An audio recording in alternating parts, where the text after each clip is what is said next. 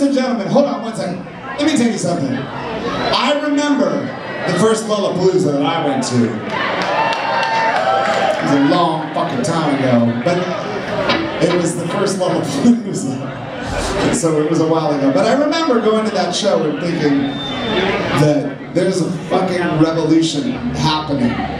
And this is before I ever imagined that my band that I was in at the time would ever play anywhere but the Metro. And there's one person responsible for that revolution in music that happened then.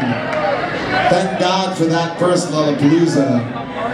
And thank God for Mr. Perry Farrell, because if it weren't for him, I don't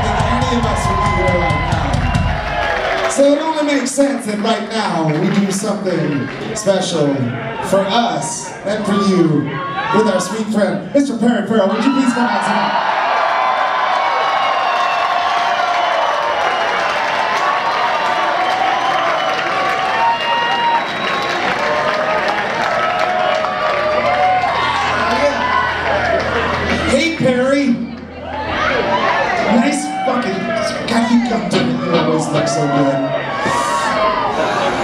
I need to learn how to do this, man. I've been stuck in this world for too long. Well, let's go shopping. Okay, Yeah, tomorrow. let's do it. I got a day off. Cool. Until then, And then we'll go and watch a show over at Grand Park. I would love to. I like that All place. right. Perry Farrell is here right now in the face.